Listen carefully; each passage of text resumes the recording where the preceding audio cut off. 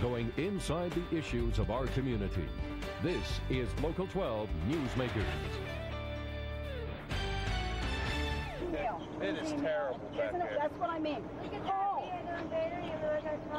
call, call city council, call, call the city manager, and tell them that this is, the 10th day has passed. When are they going to cut the cemetery? It's We have 2,000 veterans in here on Memorial Day. When are they going to cut the cemetery? This is shameful. Good morning and welcome to Newsmakers. The situation at the Wesleyan Cemetery in Northside has been disgraceful for years. The owner, Bob Merkel, was found guilty of literally robbing the assets of the cemetery and was sent to prison for a year and a half. Now he's out of prison and he threatens anybody who tries to clean the place up. And things have gotten worse rather than better. Local 12 reporter Rich Jaffe profiled the situation last week. To walk through Wesleyan Cemetery is to stroll through a field of memory and misery. For the second day in a row, Pam Wright and her husband showed up ready to cut whatever was necessary to find the graves of their nine family members. It's very frustrating, and especially for the elderly that have to come out here and see the people buried in here. They can't even find their graves. After serving 18 months for stealing $93,000 in cemetery funds, owner Robert Merkel was released from prison last year. While he was gone, the volunteer group Friends of Wesleyan maintained the property. We've been donating our time. We've been donating our equipment, everything. When is Mr. Merkel going to donate? This past February, in an effort to get Merkel to relinquish control of the cemetery, the Ohio Attorney General filed suit against him. But while the legal issues are in play, the volunteers have been cautioned to leave the place alone. because Merkel's out of prison and he still says he's the owner. And because of the litigations going on, we can't come in here and cut without going to jail. While the Attorney General says he believes both the county and the city have a responsibility to maintain this once hallowed ground, right now it's once again a no man's land. Rich Jaffe, Local 12. To discuss a proposal to deal once and for all with the mess at Wesleyan Cemetery, I am joined by Hamilton County Commissioner Todd Portune and David Pepper, a member of Cincinnati City Council. In both cases, welcome back to uh, Newsmakers. Dan, thank you. Good morning. Good to see you. Um, why is this, Todd, a continuing mess? I mean, it would seem like here's Merkel. He was convicted of, of having stolen at least 93000 from the place, yet he's technically still owner and he seems to have control. Why is this still a mess? Well, it, it shouldn't be a mess, first of all, but it is in part because Mr. Merkel uh, has failed to take his responsibility seriously, but more than that, he has threatened anybody who's tried to act responsibly with legal action. For example, the Friends of Wesleyan or city or county officials that may come on to the property. He's threatened them with legal action if people come onto the property and attempt to do the right thing. So that's in part the answer, but in, in part the answer also has been, uh, regrettably, the lack of both city and county in stepping up to the plate and doing what is their legal statutory responsibility here. And, and this has been going on for several years. Issues have been put forward, proposals have been put forward, but to date, uh, neither I at the county nor, nor David at the city have been able to secure the, the necessary approvals to take the next step. But we think we're, we're on the right track toward And we're going to talk done. about that plan in just a minute. What what's the legal ability? Why why does the county even have a, a, claim to to be able to operate here on a, from a legal perspective? Very simple. Under the Ohio Revised Code, the county has statutory responsibility to maintain and preserve veterans' monuments and memorials, and in certain circumstances, veterans' graves. At Wesleyan Cemetery, there are a number of veterans' monuments and memorials, including uh, a memorial to the first Surgeon General of the United States of America who was buried there at Wesleyan. There are also close to 2,000 veterans' graves at Wesleyan that are in an abandoned situation. So, because of, of those facts and because of that statutory responsibility, the county has a role to play here, and it is a mandatory, obligatory role for the county to step in. David, what about the city? Does the city have any legal one, responsibility, or two, legal ability to step into the situation? Yeah, we believe we do as well.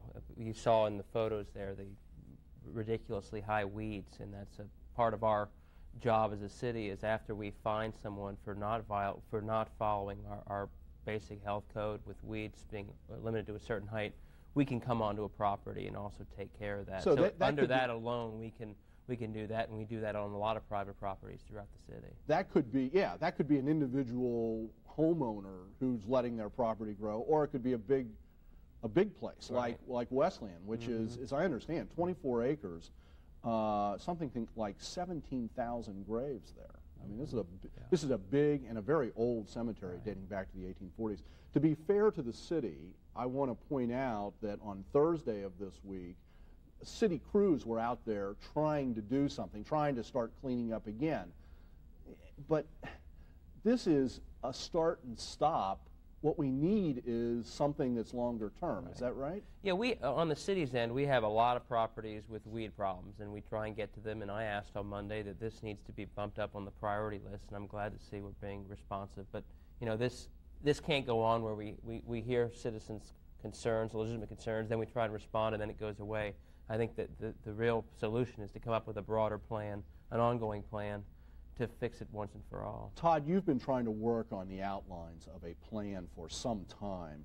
Can you just sort of sketch that out, what you think would be a long term plan here? Sure, and, and actually this effort goes back now over two years in terms of trying to put together the, the pieces for providing for the permanent maintenance and care of, of the cemetery and, and the graves in perpetuity. I believe that the city and the county can easily partner uh, in resources and materials that we have uh, and also partner with Cincinnati State um, in order to provide the, the vehicle that will allow for the cemetery to be taken care of in, in perpetuity. Two simple things. Um, city and the county need to come together and underwrite the cost of the equipment and materials that are necessary to maintain the cemetery. When you're talking about equipment, we're talking about We're talking about- gasoline, Exactly. that kind of They- stuff. tho- those sorts of uh, yard tools, in essence, the, the, the things necessary to maintain a, a property like this. The county then also can bring resources to bear through the county's adult probation department and make this a part of the community service of adult probationers in Hamilton County. They're already doing things like this elsewhere throughout the county, so this would just be one other uh, from an example. from a legal point of view, from an insurance point of view, it's okay to use probationers for this kind of thing. Yes, it is, and, and we use probationers to cut down weeds in a variety of other places. Probationers were used to to uh, keep up Hillcrest Cemetery in out in Anderson Township. So probationers aren't paid for their time because they owe time to the community, That's right. and so there's no cash outflow for them. No cash outflow at all, and it, it's a, a resource that we have that is used elsewhere for this type of a purpose. It can be brought to bear to, to be used here, and that actually reduces significantly the cost of maintaining the cemetery. We've received estimates of around $5,000 per acre from contractors to maintain the cemetery, but the Per, bulk per year, right? Per, per year, yes. Okay. But the bulk of that cost is in the labor. And so if you take the labor out, then the cost is, is very, very manageable. There's a third factor here, though, and that is who's going to oversee all of this, take on the, the mantle of responsibility of, of overseeing this. And I propose that city and county uh, partner and approach Cincinnati State. Cincinnati State has a cemetery management course curriculum in place. This would provide a living laboratory for the students at the college in, in order to get a real hands-on experience in terms of cemetery management. And uh, that partnership of city, county, and, and Cincinnati State could provide the, uh, the vehicle uh, under which we could h- provide for the maintenance and care of the cemetery in perpetuity. David, what's your reaction to the outline of this plan as, as Todd has, has sketched it Well, out here? I think we're on the same page. Uh, I actually have had a very good relationship with adult probation as well. As Todd mentioned, we have some great partnerships.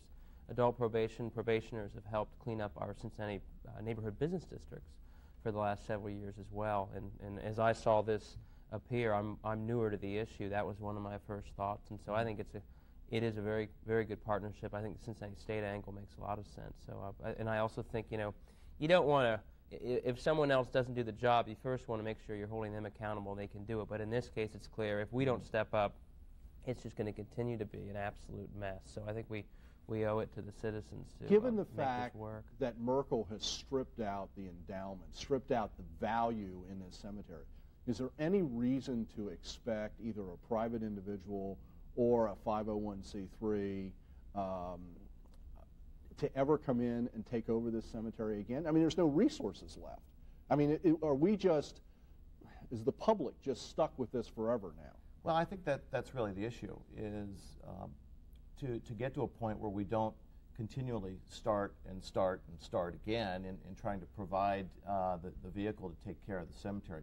Merkel has stripped away all of the, the resources. And, and of course, he is the primary party who has primary responsibility. And if he has any assets at all or, or financial resources at all that we can go after, we should, and I know that we will, to try to, to underwrite this. But beyond that, at the end of the day, uh, the county has statutory responsibilities. The city has statutory responsibilities, and, and we need to fulfill our responsibility here and make sure that we uh, resolve this issue so it's not a problem year after year after year. Wh- Very practical question. Any estimate? It sounds like okay, labor's. You're, you've got a plan for the labor. You've got a plan to oversee management.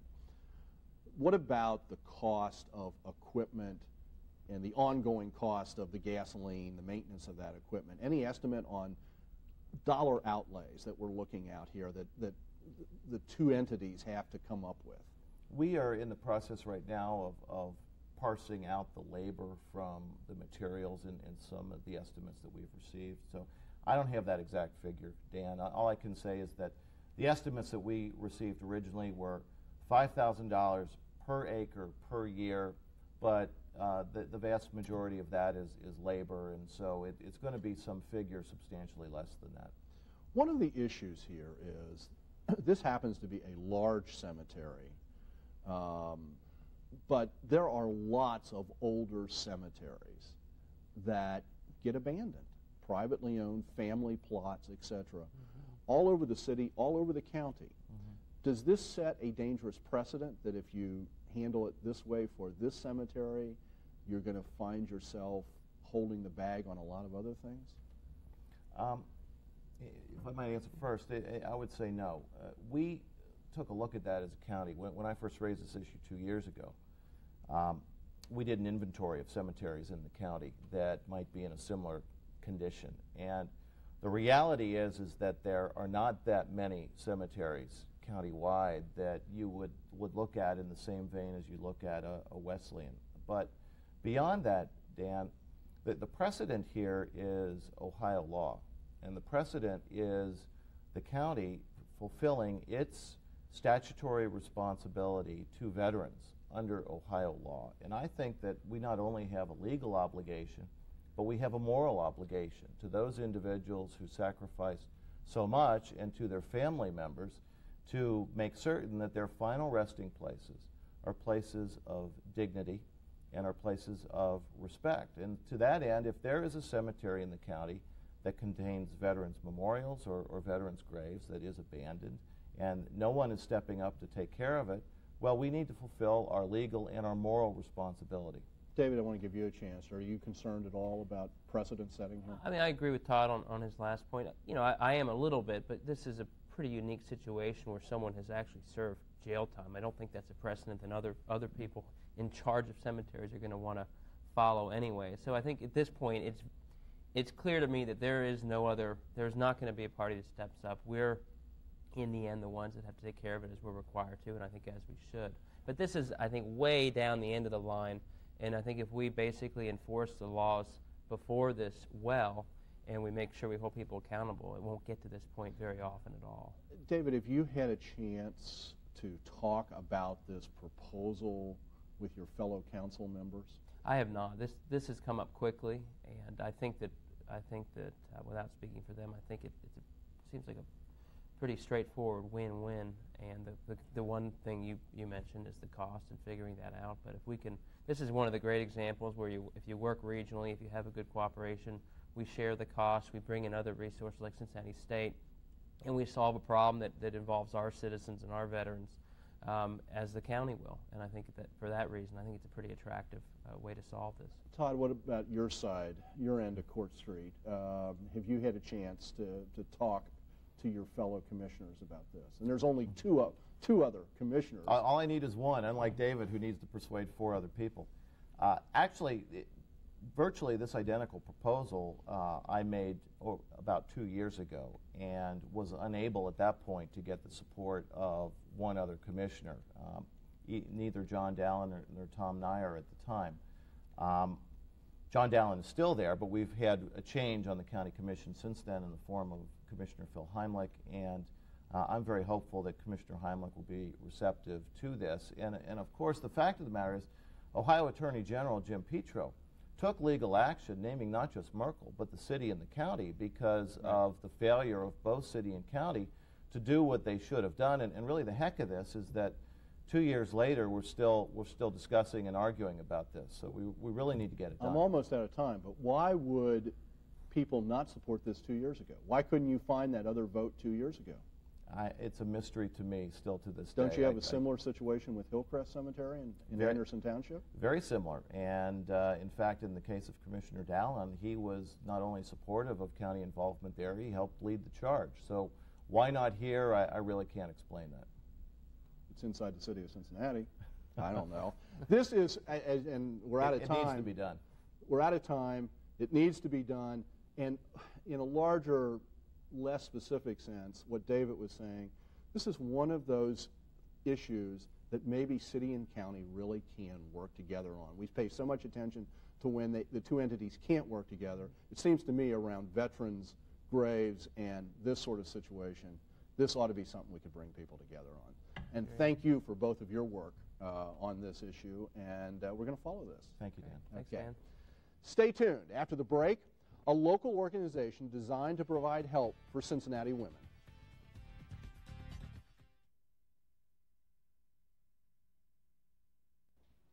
Welcome back.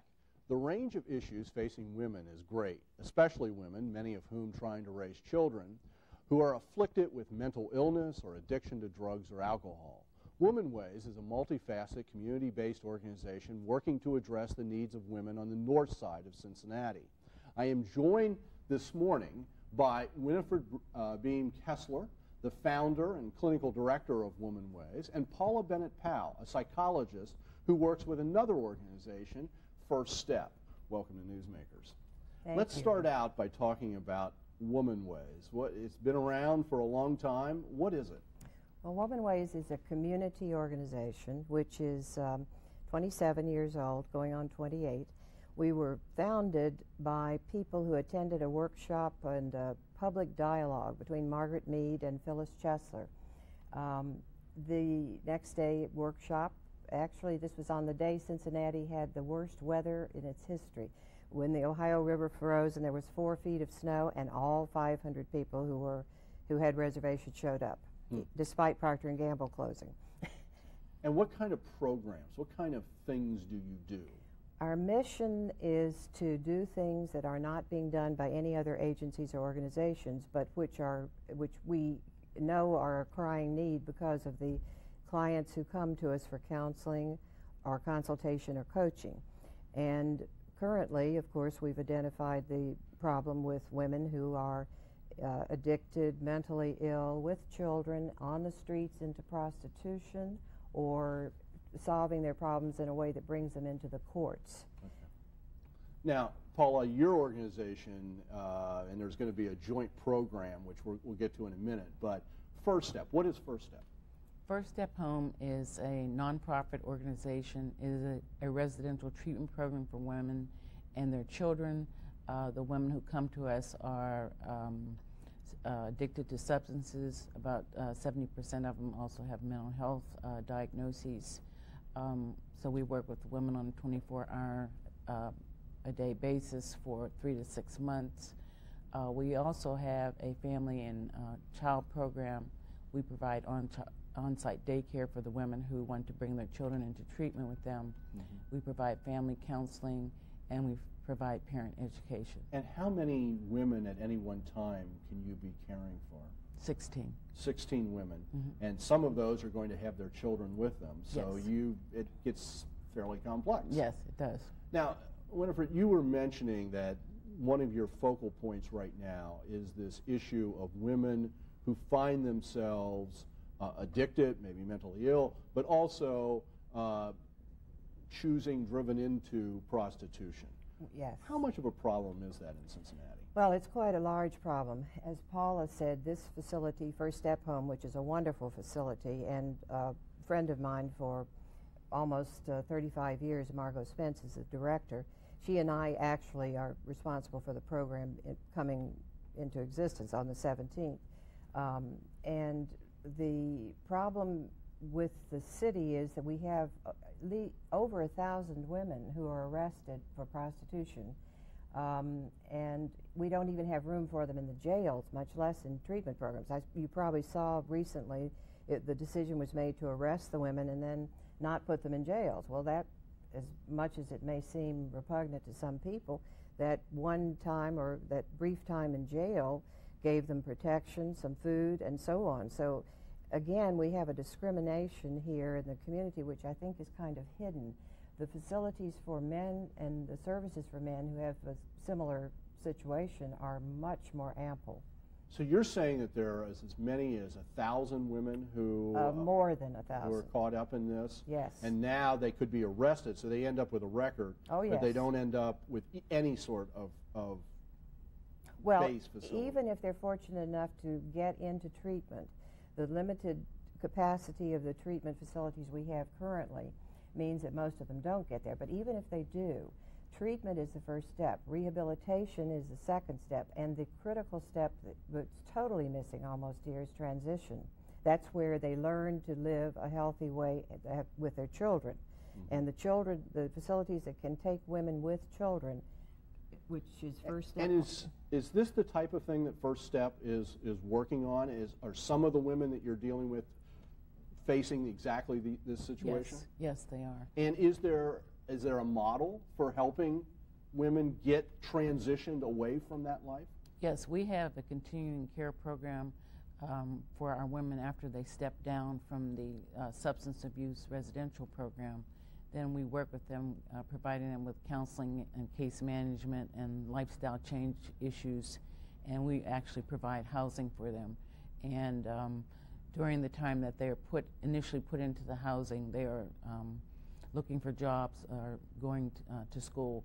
They have several months before they have to start actually paying rent.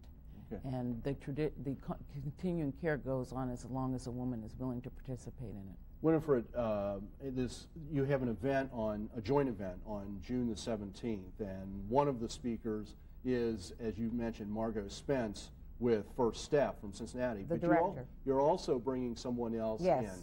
Tell, tell us about that and why that's a model. Okay, well, Dr. Powell, I believe, has been with First Step on only a few months. Margot, of course, has been there much longer. She and I have been talking about the programs that exist nationally for over a year. Um, we're bringing in Sister Marietta Fritz from uh, Saginaw, Michigan. She was, we were put in contact with her uh, by Sister Elizabeth Marie Boyer, who is the provincial of the Sisters of Notre Dame de Namur. Uh, Marietta was here as the first mentor model of our Woman Ways New Swans program, which is the savvy women and men active in the north side of Cincinnati. Deliberately chosen because we were trying to get away from that Cincinnati conflictual thing of east-west yeah, neighborhood. right. Yeah, we're really big into this crossing boundaries and divisiveness and getting people connected. And, and I, am aware of time here, so this program in Saginaw is different than Yes, typical it- program. We've investigated the program in San Francisco where their Johns are being arrested. They're paying money for services, and that's a good program. It's much.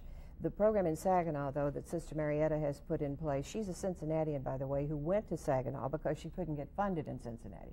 She has eight homes up there. Saginaw is one sixth the size of Cincinnati. We And don't have homes. anything like that. Let me put up the slate about the information about this uh, event. It's June the 17th, Sister Marietta Fritz and Margot Spence. Uh, June the 17th, and it'll be at 5419 Hamilton Avenue. 5914. 5914 Hamilton Avenue, I can't type. and the telephone number for information and reservation, 751-7003. Or email womanways at fuse.net. Womanwaysfuse.net. Thank you very much for being Thank here you, this Dan. morning. Good luck. Thank Thank you. you for your work in the community. Thank you. Thank you for making Local 12 Newsmakers a part of your Sunday morning. We leave you this morning with some very sad scenes from Wesleyan Cemetery on Memorial Day 2004. But I'll go over before we leave and I'll do our people. Mm-hmm. But I just wanted to do some of these others just to make a statement, if nothing else. Somebody has to do something.